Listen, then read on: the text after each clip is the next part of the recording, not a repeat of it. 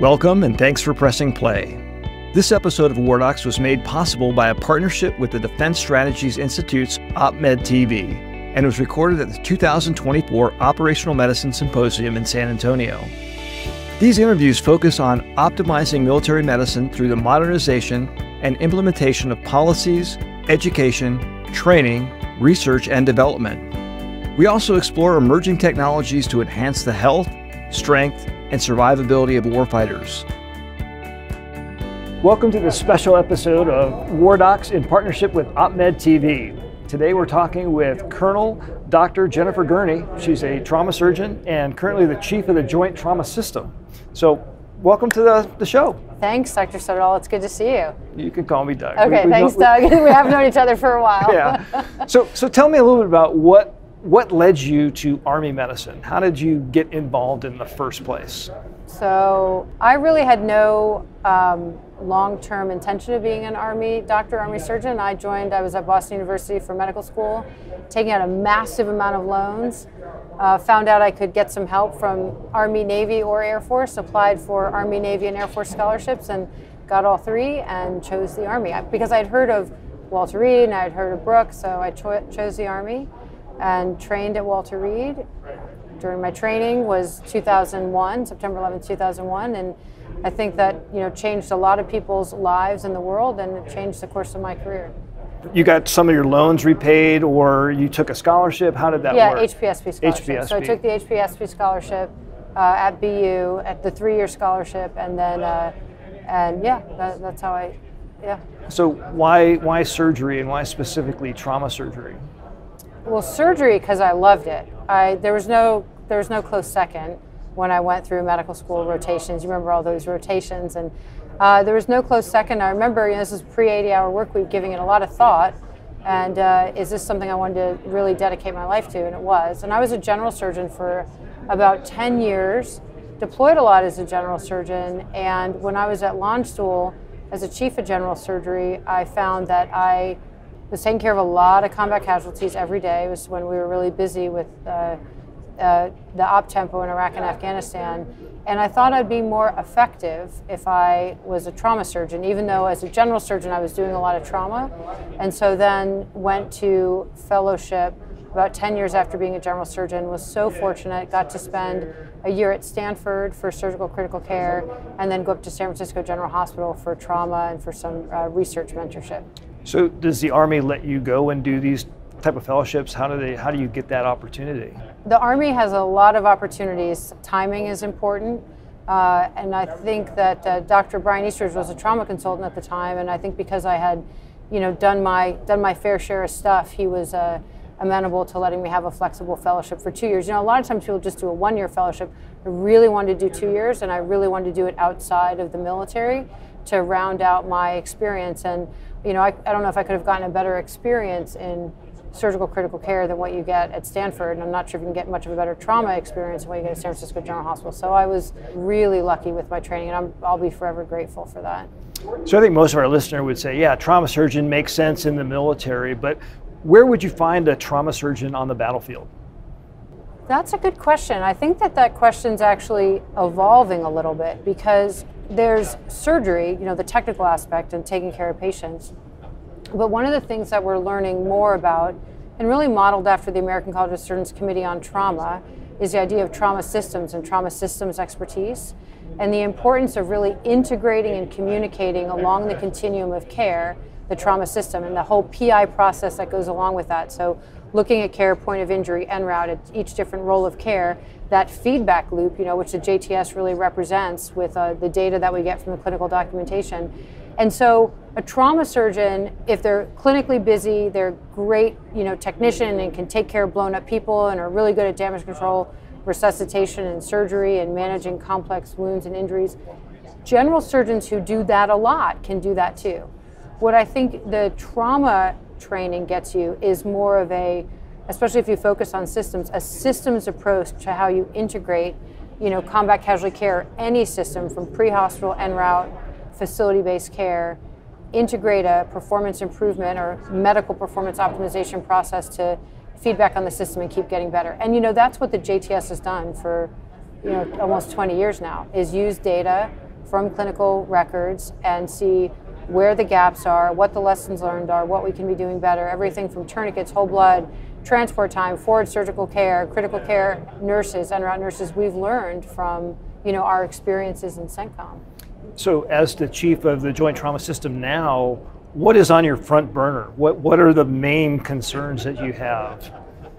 Well, I think everybody's concerned with this Walker dip, which, by the way, uh, Admiral, can't remember his first name, Walker, it's not Cornelius, but a British admiral, defined the Walker dip in a great paper that describes Walker dip, but it was actually defined also by Dr. DeBakey and by Dr. Churchill and by Dr. Cooley. There's been this, uh, you know, punctuated equilibrium of we learn a lot during combat operations. There's a national investment in getting better and learning how to take care of combat casualties. That reciprocates to the civilian world.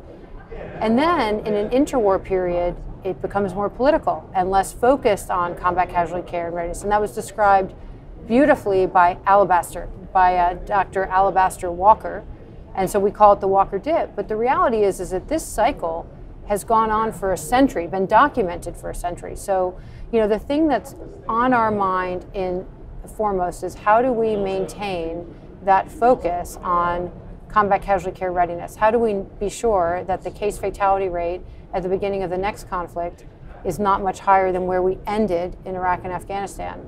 And you know, if you look at our data from the Joint Trauma System, the first couple years, like about three years, we didn't have a big change in the case fatality rate or the KA rate. Now, that could be because we weren't getting the data collected well or other things, but we don't have, you know, three years to act, learn, and adjust. We have to be much faster. So, what's on our mind at the Joint Trauma System now is how do we get better at clinical data capture, getting that data into our registry, and rapid cycling that data to inform not just clinical care through performance improvement, but doctrine, organization, training, material requirements, leadership, facilities, personnel, like all those things. I mean, we've adopted the model saving lives with data and you know we really mean it and so we're uh, working really hard to make our registry processes better we're uh, partnered with JOMIS to improve clinical documentation and we're trying to get out to exercises to really talk to every level of provider the importance of you write stuff down you're helping save a life.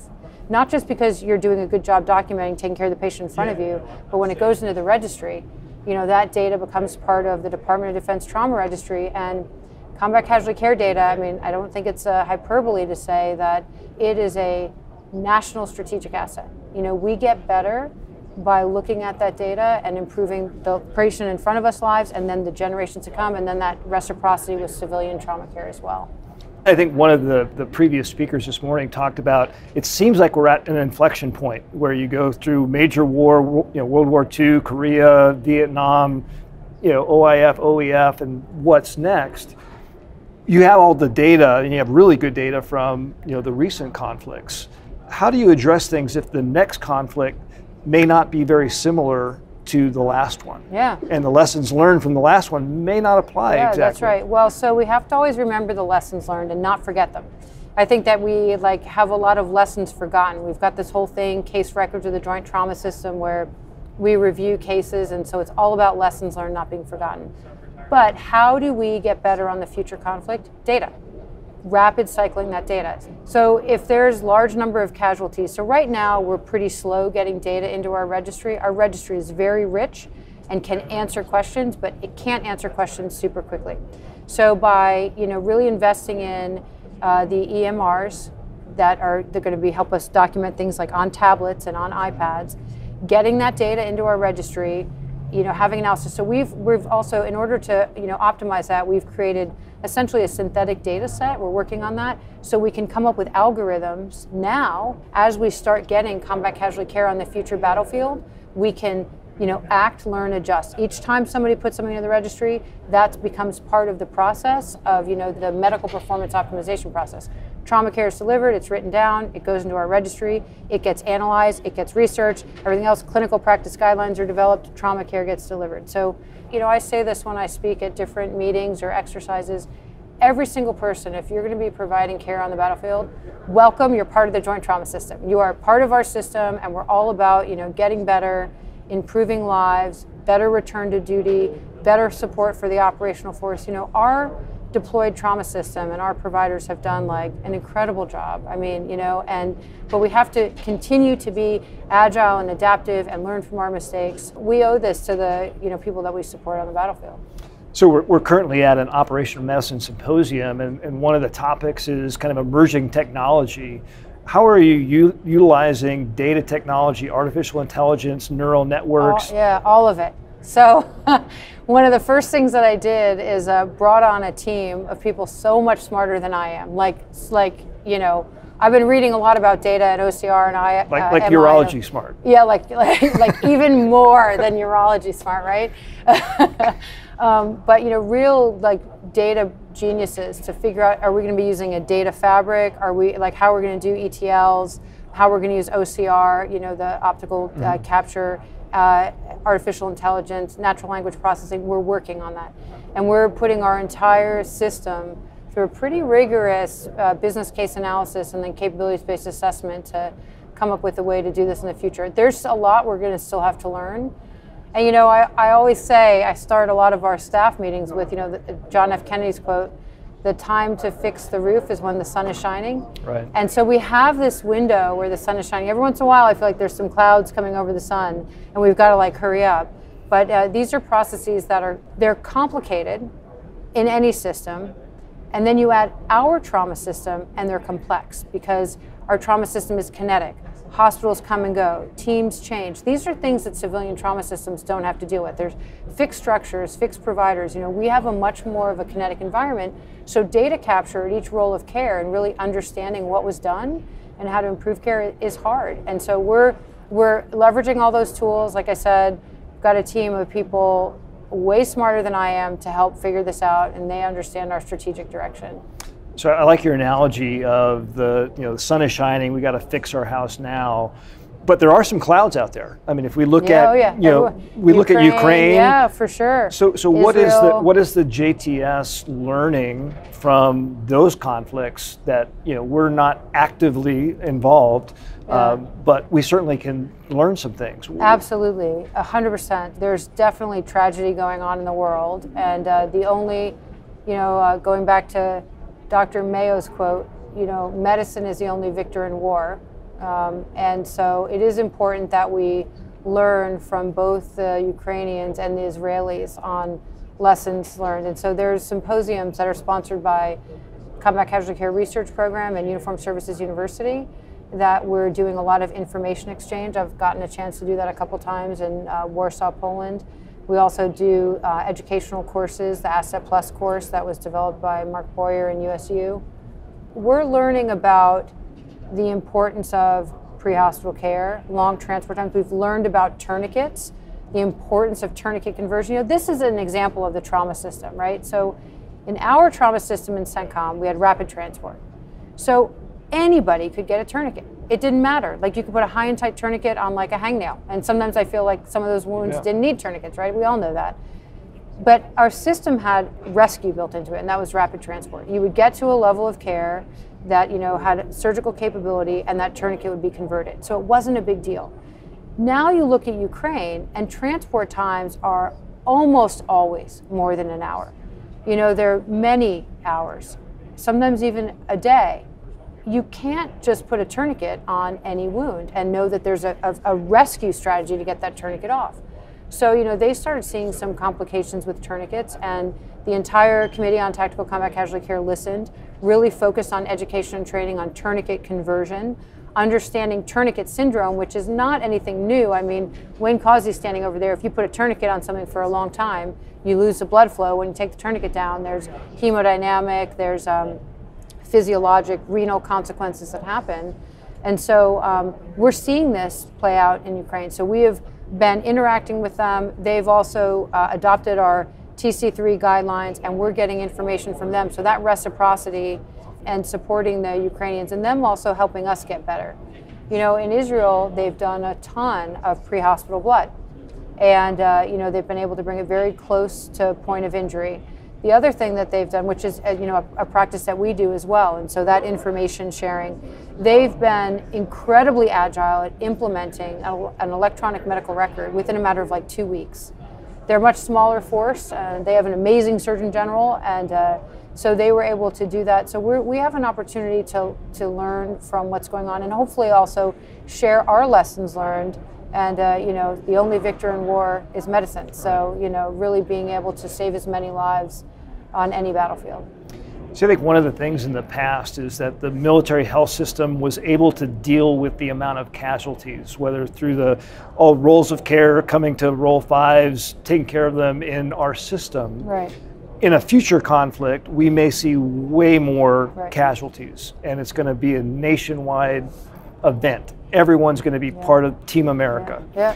So, how does the JTS, military focused JTS, and I know the American College of Surgeons Committee of Trauma, you know, is talking about the national system. How do Yeah. those meld together and how do they collaborate? Yeah, that's a great question. So just on that, you know, the idea of you know contested logistics and the challenges we're going to have on the future battlefield, congest, contested logistics, uh, return to duty, you know, air deniability, all that becomes congested evacuation, and it happens pre-hospital, role two, so every place is going to get congested. So the idea of learning about how do we hold patients longer at every role of care, in terms of what the next conflict might look like with thousands of casualties a day. It will be an all nation response, just like World War II, just like World War I.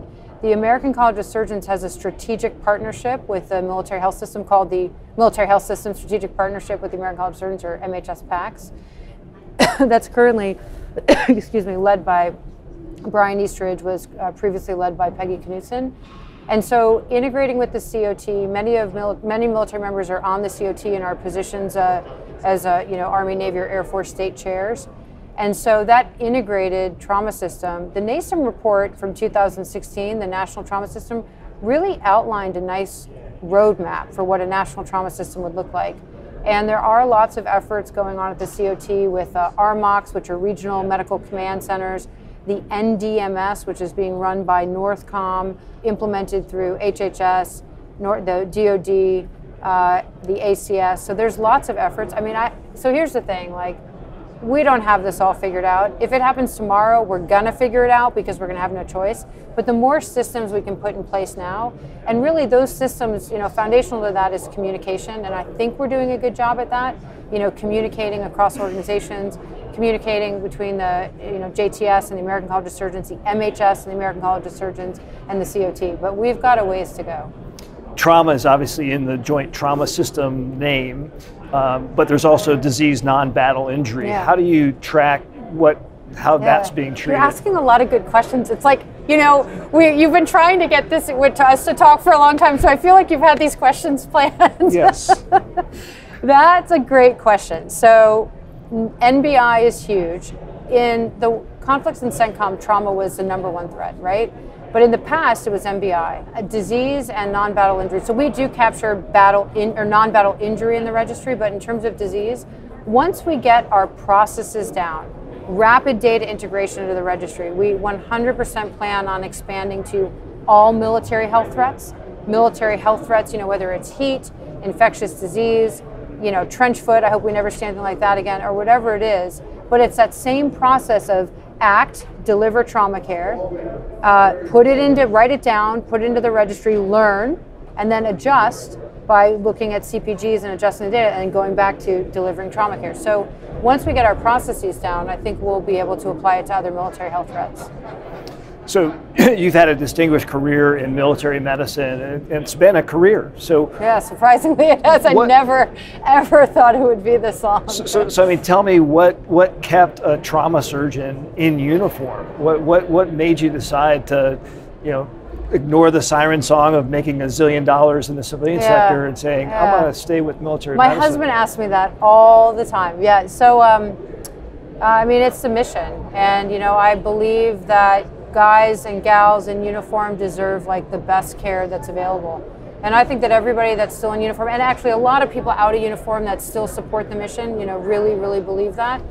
And if I thought I could be as influential outside the military, I would be out.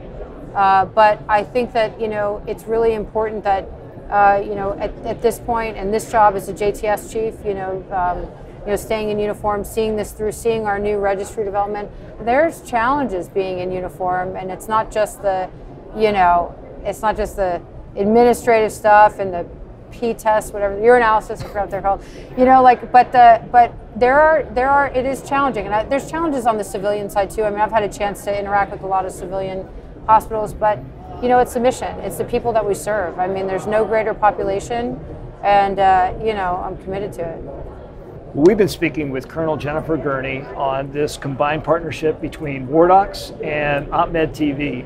Jen, thanks for thanks for your time today.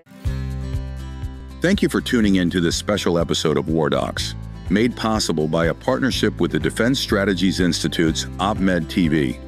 To stay connected with Team WarDocs, visit our website at wardocspodcast.com. Follow us on social media for updates and subscribe to our WarDocs YouTube channel for more engaging content. Your support helps us continue to document the experiences and contributions of military medicine professionals as we honor the legacy and preserve the history of military medicine for the next generation.